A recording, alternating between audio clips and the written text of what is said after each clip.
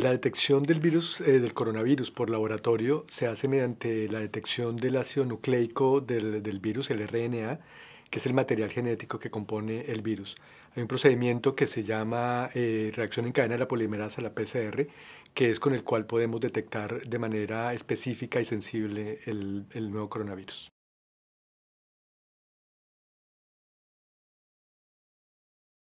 El diagnóstico molecular, la PCR, detecta ácidos nucleicos, detecta el material genético, lo cual lo hace muy sensible y muy específico.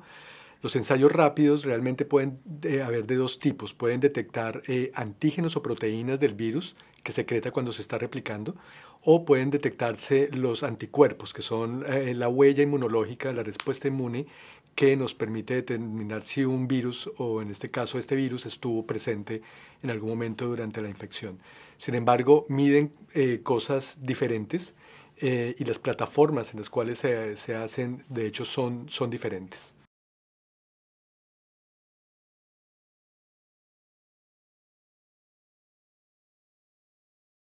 El procedimiento, el protocolo de la universidad, del Hospital Universitario Charité de Alemania fue el primero que se desarrolló una vez se descubrió, el, se describió el virus y se pudo determinar su secuencia genómica.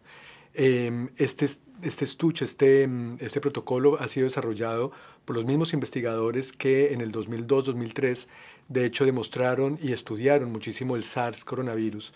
De esa manera, entonces, ellos tienen una, una, plataforma bastante importante que les permitió evaluar rápidamente este protocolo, lo cual eh, nos genera mucha confianza.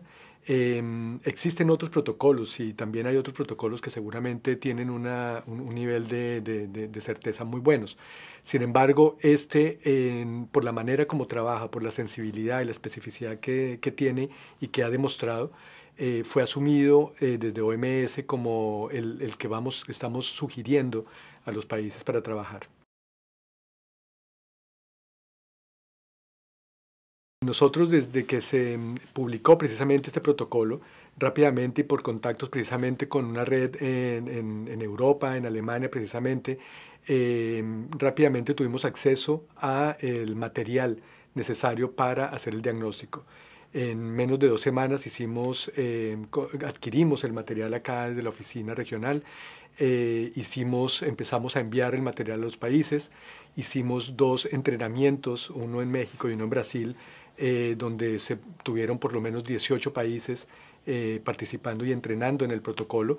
Paralelamente se hicieron algunas, varias misiones a los países en donde se llevó el material y se implementó directamente en el país y desde entonces hemos seguido eh, con los países precisamente enviando eh, material para la PCR precisamente, el material necesario para asegurarnos de que se mantenga la vigilancia eh, del virus.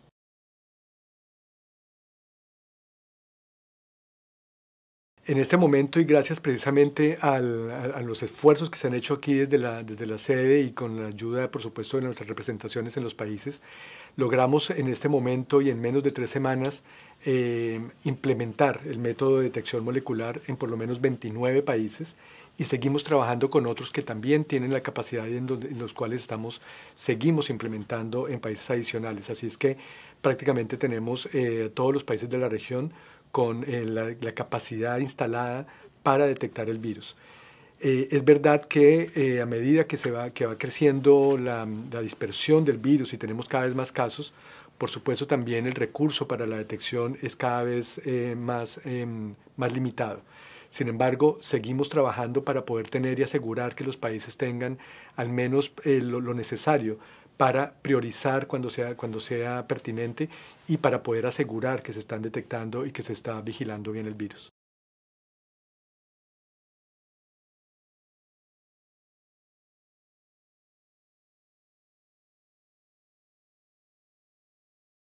Cada país tiene la libertad de, eh, enfrentar y de elegir las estrategias que crea más, más oportunas y pertinentes precisamente para eh, frenar la dispersión del virus. Eh, desde OMS se han dado diferentes lineamientos y diferentes eh, tipos de recomendaciones que los países deben utilizar y tener en cuenta en el momento en que quieran implementar alguna medida para eh, asegurar la, que, no se, que, nos, que no se expanda mucho más el virus. Eh, sin embargo, desde, eh, desde OMS y, con, OPS hemos sido eh, enfáticos en que las pruebas rápidas, al menos en este momento, no deberían ser utilizadas, no las estamos recomendando, porque tienen algunos problemas de sensibilidad y de especificidad que deben ser tenidos en cuenta. Entonces, em, al final dependerá de cada país la manera como asuma el, el reto de detener la, la epidemia. Insisto, se debe, tener, se debe tener en cuenta cuál es la estrategia que se tiene para, eh, para testar, para hacer los ensayos en, en, las, en los diferentes países. Ah, en general, no se deberían eh, hacer ensayos en personas que no, ten, que no cumplan con una definición de caso o que no tengan un contacto real y que, que realmente se pueda asumir que puedan estar infectadas.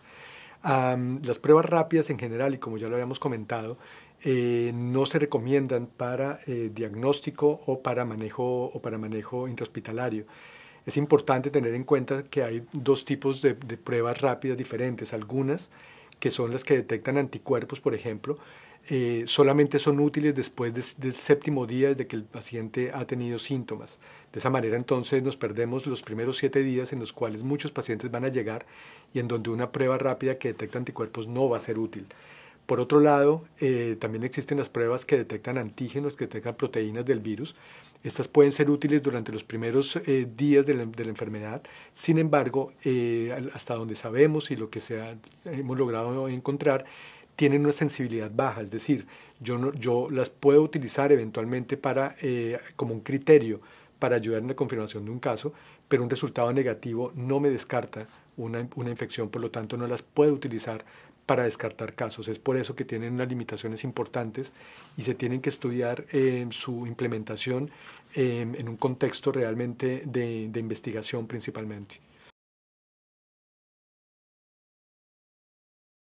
En el tema de las pruebas rápidas, eh, por la manera como están diseñadas y por el tipo de, componentes que utilizan, normalmente no se utilizan para diagnóstico en clínico precisamente porque la sensibilidad principalmente es baja.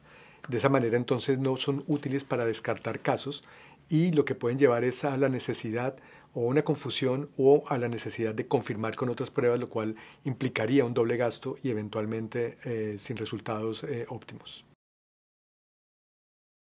Los países lo que tienen que hacer es eh, elegir una estrategia para, para, hacer el enfrentamiento precisamente de la epidemia.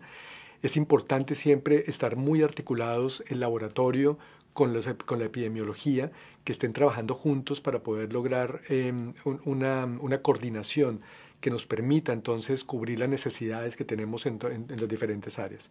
Definitivamente em, eso es una situación que es una emergencia donde todos tenemos que estar eh, aportando y definitivamente esa articulación, esa coordinación entre la vigilancia epidemiológica, la clínica y el laboratorio es fundamental.